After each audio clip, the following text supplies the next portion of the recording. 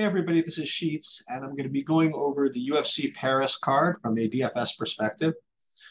And for those of you that have been following this progress of this card along the week, throughout the week, there's been a lot of, excuse me, there's been a lot of uh, fight switching, fight canceling, fight rebooking, things like that. And in addition to that, because this fight features a lot of Parisians and fighters that people don't know all that well, it does present the opportunity for I don't know quite a bit of fragility in the projections, to say the least. But when you have cards like that, I think it's really important to just kind of just go back to basics and just rely on the numbers. You can get all kinds of swayed with all these different pronunciations of the names and the different Basharats and the, the Firos and the Yamoris and this, that, and the other thing.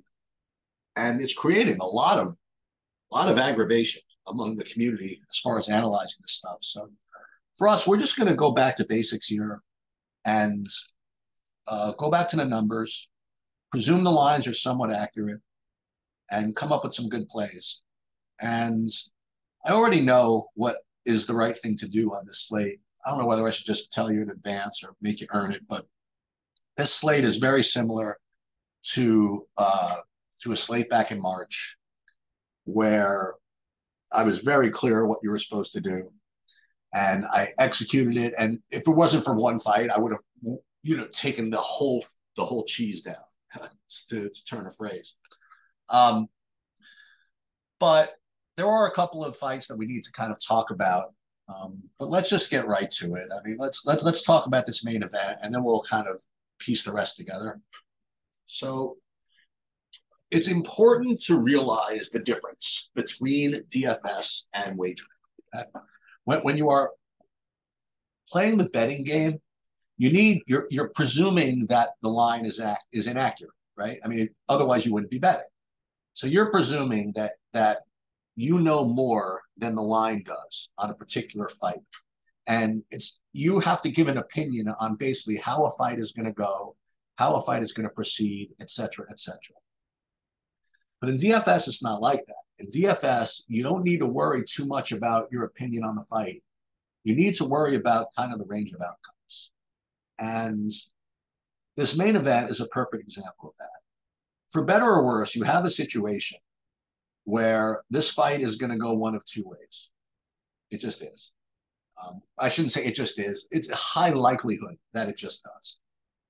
Uh, and that is either Sergey Spivak implements his game plan of getting a bunch of takedowns, probably a finish, or he does not. Okay? And, and the thing is, is that if he does, he's going to score through the roof. He just is. The, the, the, the combination of takedowns and finishing upside for a guy like this at 7,500 is just way too high to ignore. And the card I'm referring to, and you're going to just say I'm crazy for making these two slates the same, but was when uh, Merab Dvalishvili fought Petr Yan.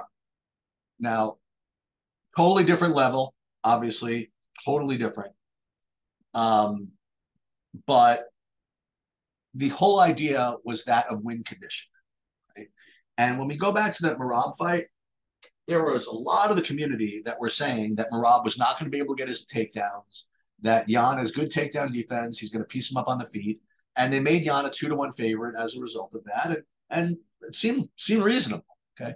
But that was not relevant. Okay. What was relevant is what happens when Marab did win. Okay. The idea was that even though Marab was a two to one underdog, that means he wins 35 plus percent of the time or 30 percent of the time. And in those wins, as we discussed, um, he was just going to be the in the optimal lineup. And the fact is, is that that's the way it worked out. If he actually did win, he scored a million points or whatever it is. But but I decided that week that the, the right thing to do was just to basically go all in on it, because if you plotted all of the results of that fight, even though you know 67% of them were going to be wins for Yan, if you plotted like the top scores, I would say like 80% of them are going to come from Marab's, uh, Merab's victories. Okay. And this fight is is is very, very simple, okay. And you're hearing a lot of debate on whether Spivak's going to get takedowns. You're hearing a lot of debate about whether Gane's, you know, significant advantage on the feet is going to take over. The point is, is that it doesn't matter, okay? Because when you look at the money line here, all that's factored into the price. And you have a situation where Cyril Gane is going to win the fight about 35, excuse me, about 65% of the time. Maybe a little less, right? Maybe about more like 60% of the time, some 62% of the time. The fact is, is that Sergey Spivak is going to win this fight about 37% of the time. And when he wins, he's breaking this uh, at that price. Just has to. I don't say has to, but it's extremely likely. Whereas when Gane wins, he's optimal a, a decent amount of the time, but not all the time. And when it comes to ownership in this fight, I find it hard to believe. I, I don't shouldn't say that. I mean, Spivak should be the highest, the higher owned of the two fighters. I don't know if these if that's actually going to be the case though. I, didn't look at ownership projections quite yet, but I still think that Gane is going to be higher owned for some reason, um, because you have uh, a card with 9K plus fighters who are extremely fishy with with respect to the metrics. So you have a situation where Gane is a reasonable favorite who's got a lot of finishing upside, and, and he's got five rounds. He's going to just show up in so many optimals that I think that he's going to be more popular than Spivak. So where I think that Spivak should be, if you ran this in a computer, you know what I mean? Like I think he would be in the optimal just a hell of a lot more often than he's going to be owned. Let's just put it that way. So I really believe that what you're supposed to do this fight is is go all in on Spivak. At, at the very least, you should go 67% Spivak. And then, okay, what else do you do with this fight? You could play 67% Spivak and then make 33% fade. Or if you want, if you really want to play Gane, you can. But if that's if that's the case, I would play 67% Spivak, maybe 15% uh maybe 16% Gane. And in those Gane lineups, you're really going to need to get funky. You know what I mean? You're going to deal. You're dealing with a play that's not that great. I mean, it's good, but it's it's going to be also popular. So you're going to have to pair that one with some really low owned fighters. Now, now, you could say the same thing about Spivak as well. You know, I mean, of the underdogs, he's clearly going to be the most popular underdog, and I still am going to suggest that he's the most popular fighter on the slate. But if you go all in, that's fine. You know I mean? That now you're getting you're getting to serious. You know, now you're getting leverage on the field anyway. Um, but here's one little trick that I'm going to recommend here to you guys. And again, I haven't even gone over any of these fights yet because I think it's just much more important to deal with the the, the the, the context of the slate. And I went about this. I, I, talked about this earlier in one of my my late sessions um, this week when I was talking about baseball. But nonetheless, I want to consider doing this. Build lineups with Gane.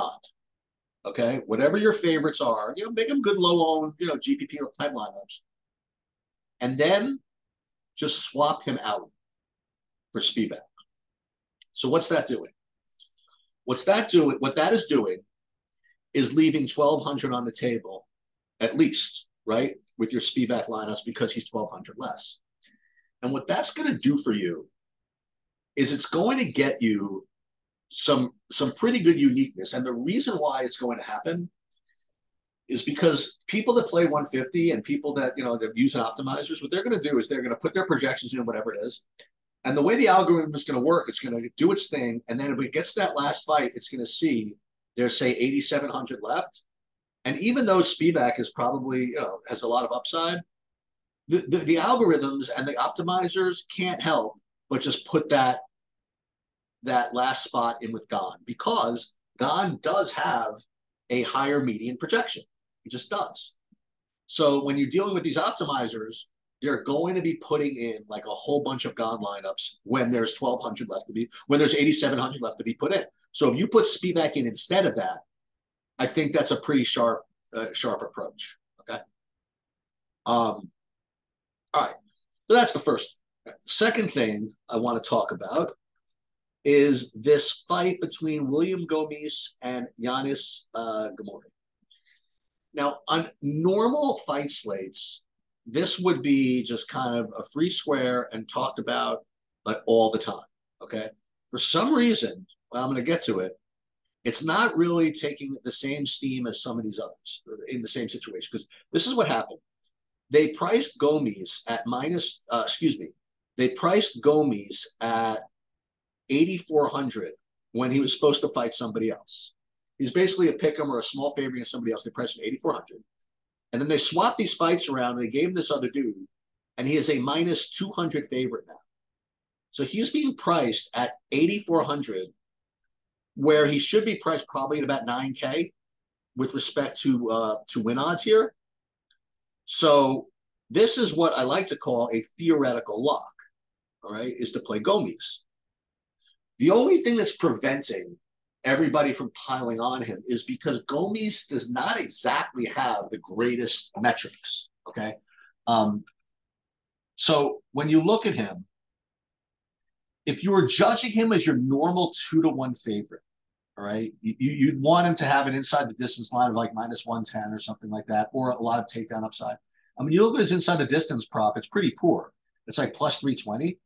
However, he does have some takedown upside as well. So I would not discount Gomis as a very strong play strictly on the money line.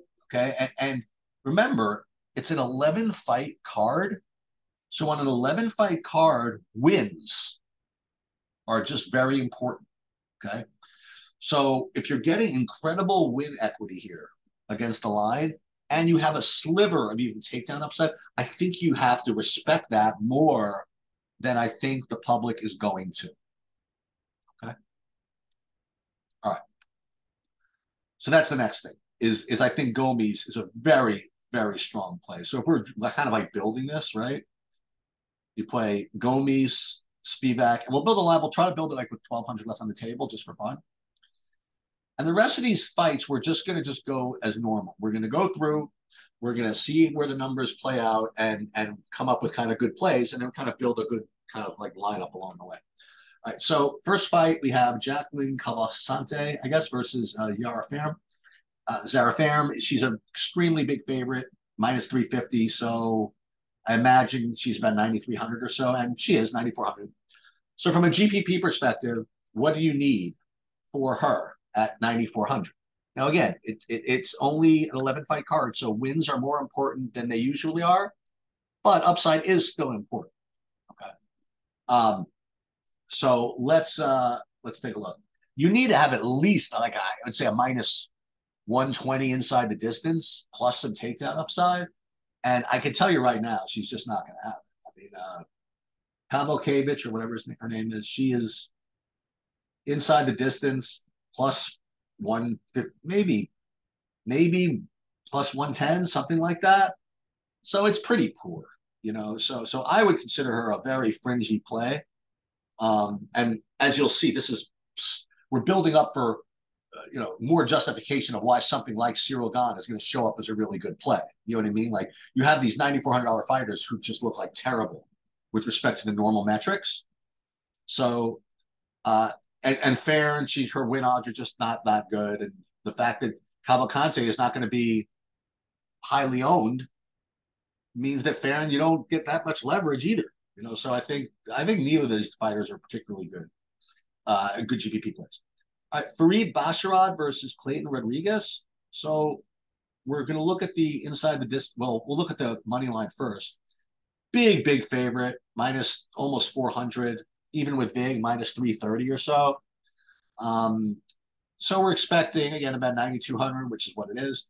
So for 9,200, what you're going to need again is at least minus 110 inside one, one minus 110 inside the distance, And it would be nice to have have takedown upside as well. Now, in this fight, you have a pretty poor inside the distance line. You have uh where is this? Basharat inside is plus 260, which is really not that much better than Gomis, if you want to know the truth. He does have takedown upside, though. Okay. But the real question is, is how much? You know, he had, he did have three takedown against Blackshear, and that looking back was a pretty big deal because Blackshear, it turns out, is a pretty good wrestler himself. So I think that Basharat does have enough takedown upside to overcome a little bit of an inferior inside the distance line. So I'm going to put him as a good play. We're going to have to wait to see if anybody else shows up as a kind of a better play, but I do think you show up as a good play um, given that takedown upside. So we'll put him in. Uh, let's look at Rodrigues just for the hell of it, because if, if Basharat is in fact going to rate out as a good play, it's going to mean that he's popular. And so you take a, you always have to take a look. Like when one side looks really good, you have to take a look at the other side because if one side's going to look really good, you know what that means? That everybody's going to see it looks good, and you'll be able to get leverage playing the other side. Okay? So you have um, Kleydson Rodrigues. You know his his money line is going to be poor, but let's just take a look at the inside the distance line just for kicks. If you if you could get him at maybe plus three fifty, like if he's going to have a inside the distance line of maybe plus three fifty, that might be good enough to take a shot.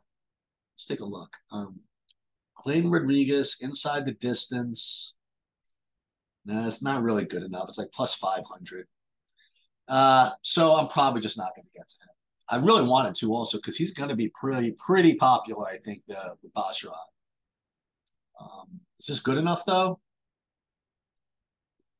I mean, the, the money line is just terrible. You know, like so it's not as if he's a plus 180 and I'll live with the decision that happens going to happen like 40% of the time or 30% of the time. It's just not that good. So you'd have to have some pretty good finishing upside. It doesn't quite look like it. Right, moving on up the card here, we have Noah Cornell versus Cornolle, I guess, versus Joselyne Edwards. It's pretty much a pick 'em, right? Uh, maybe Edwards a little bit of a favorite. So we'll take a look at the odds here, and yeah, it's about right. Edwards is a little bit of a favorite on the money line as well. So with these fights, you, you need to have an inside the distance line of a, probably a plus 250 to be to listen. If it was under 200, great, but at least a plus 250 be viable. Um, plus or or some takedown upside. When you look at the inside the distance line, it's actually very interesting because you have uh, Edwards inside the distance like plus 500, just totally unplayable. You know, no no takedown upside, whatever. But this Quinoa inside the distance line at plus 200, that's pretty, that's pretty aggressive, you know? Um, so I have to say that as, as tough as this is to play her, I mean, you, you got to respect the metrics here and, and, and put her in. So I, I actually like this as far as the numbers go. And you're going to hear, you know, Edwards never gets finished. He's very technical. Corn, Cornolle has not faced anybody. I don't know. I mean, the numbers kind of are what they are. So um, I think it's pretty uh, pretty decent play here. All right, moving on, we have. Uh, well, this is gonna be long, isn't it? I will see. Um, we have Ange Loosa versus Rhys McKee. You have Loosa as like a minus 160 and Rhys McKee plus 130. So we're expecting maybe like an 8,600, 8,700 or so price. Let's see here. Um, little a little dicey. I mean, 8,800 is a little a little pricey for that money line. I guess McKee might have a little bit of line value, maybe. Just gonna look at this. Um, mean, I guess. I mean, I guess. Um, now at these prices, right, for for loose uh, for Angelusa, you need to have an inside the distance line not that much. I mean, maybe plus 140, something like that, plus 130, or takedown upside and on the other side, you don't need much out of uh, McKee at his price, maybe like plus 300 or something like that. Let's take a look.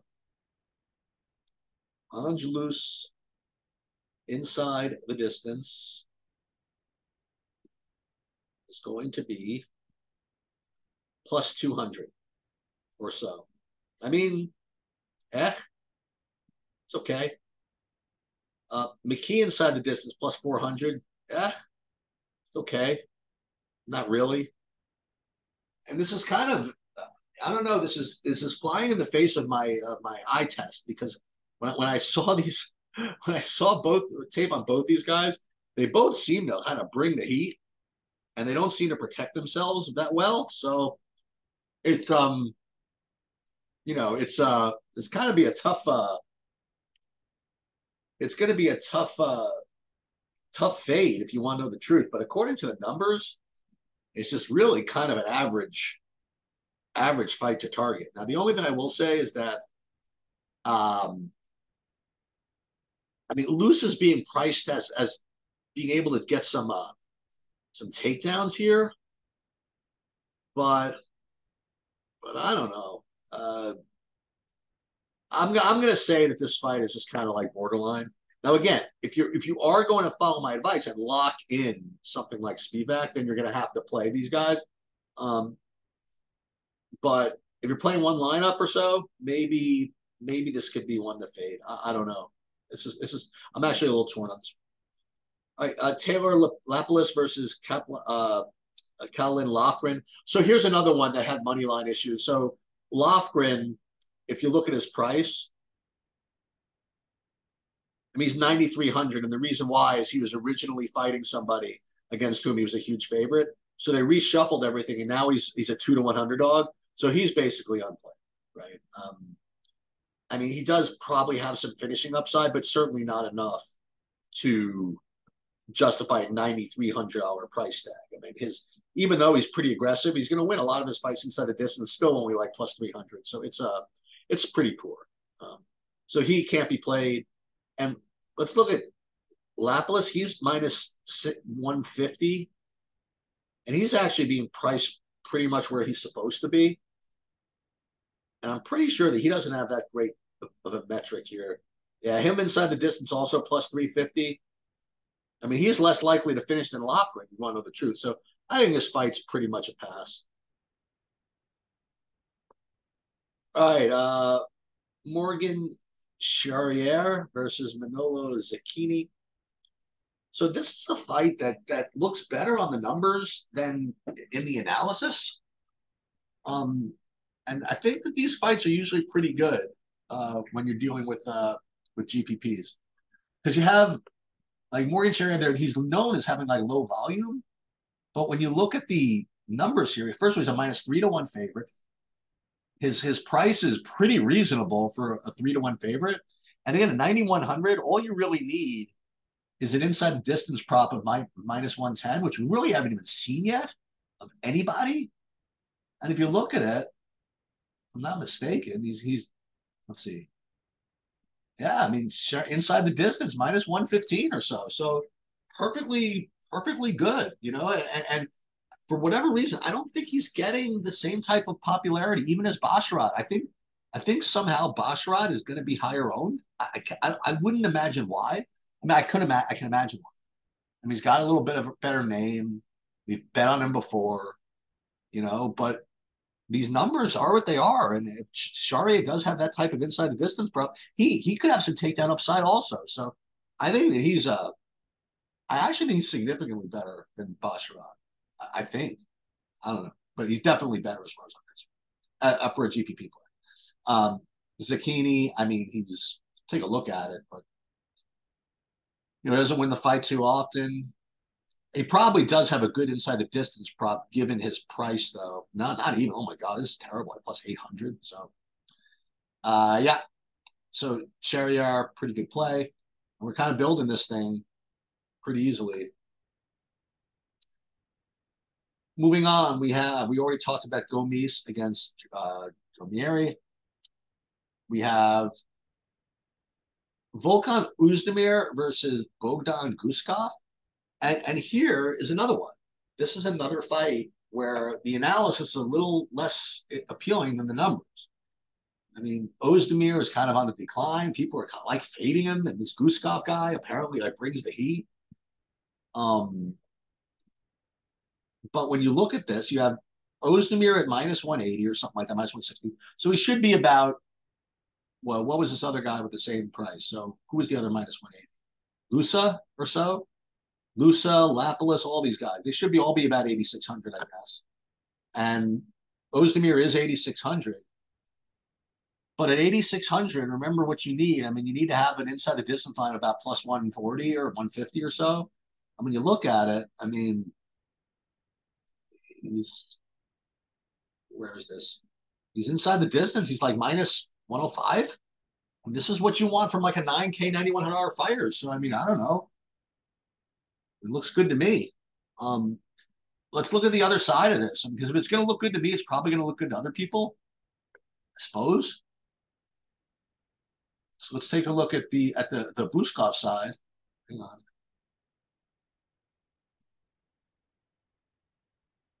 Uh,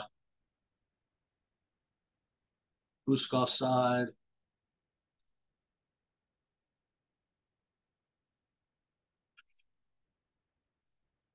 His inside the distance line at plus 200 is pretty, uh, I gotta tell you, that's pretty reasonable. So I would actually play both sides of this. This is a, this is actually a good underdog.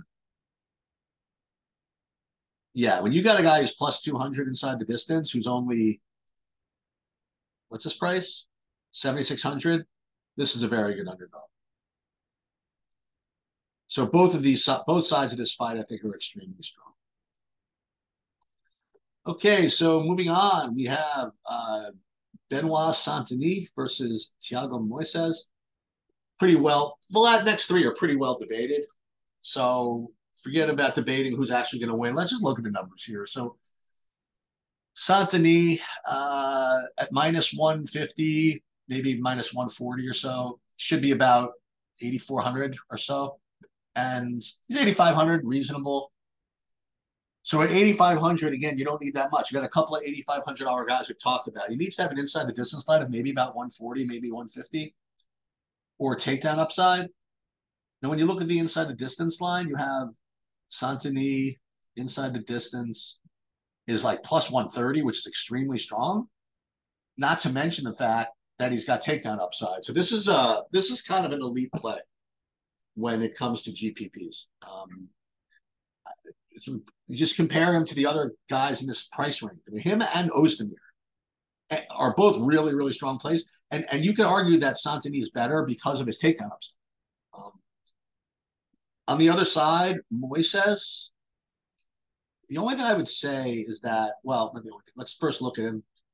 His inside the distance line is very poor, but he does carry with him some leverage because again, if Saint-Denis is popular because of listen all the things I just mentioned, making him a good play, then I do think that Moises can carry some leverage. So I'll play him a little bit, but Saint-Denis is clearly the side. Um, so forgive me for misanalyzing what was going to happen with this Fiorot Namajunas fight. I was under the impression when these salaries came out and when this thing came out I was under the impression that Rose Namajunas was going to be the highest owned underdog on the slate, with the exception of maybe of, of Spivak. I just couldn't imagine everybody not playing her because everybody always. I mean, she's like everybody loves her. I thought, but I guess because she laid an egg her last fight, people are offering now. I mean, she just she beat Weili Zhang like twice in a row. How is everybody not playing her? Um, but nonetheless, I mean, you, they're just not. I don't know what to say. Um, unfortunately, uh, the, the the the metrics are not that good here. So anyway, you got Fiorot minus 180 or so, so she should be about what she is, right? About 8,900, maybe a little less, but whatever. And when it comes to the metrics, at 8,900, she better finish, you know, minus one, you know, plus 110 or 120. I don't think you're going to see that. Um, yeah, Fiorot inside the distance is hopeless, so she's not playable unless she's going to go for takedowns I guess that's possible. Maybe she's fringy, but but if again, like if I knew that Rose was going to be really popular, I would say, okay, take a shot at Fiorot, but I'm not even seeing that kind of ownership. So I don't know. Namajunas inside the distance, not good. Her takedown upside is not, I mean, it's fine, but I, I guess I guess the fight's a pass. It's like a little annoying, but I guess the fight's a pass. Another fight. Listen, it's two two weeks in a row where you have a pretty cool female matchup that's just not the greatest from a, G, a GPP perspective. Now, again, depends on your construction. If you're playing 11 fights and you're you're locking the speed back, you want to get these combinations. So yeah, you got to play both sides of this probably. But um, but if you're just you know prioritizing a couple of you know a couple of lineups, I, I can't imagine this fight getting in there. And we already talked about uh, Gane versus Spivak. So again, this is this is listen. You have to look at check the ownership projections. I'll be up probably later today, but I think Spivac's an elite play. I think that Saint-Denis is an elite play. I think Gomis is a strong play. I think both sides of Ozdemir Guskov are really good. And I mean, if you want something off, you want something a little different, you know, Nora Cornolle, I think is, I think that could be good too. So, uh, listen, it's 11 fights. It's going to be tough to get different enough to win, like take the whole thing down. But uh, who knows? Uh, all right. I hope that helps you out. Uh, good luck, everybody.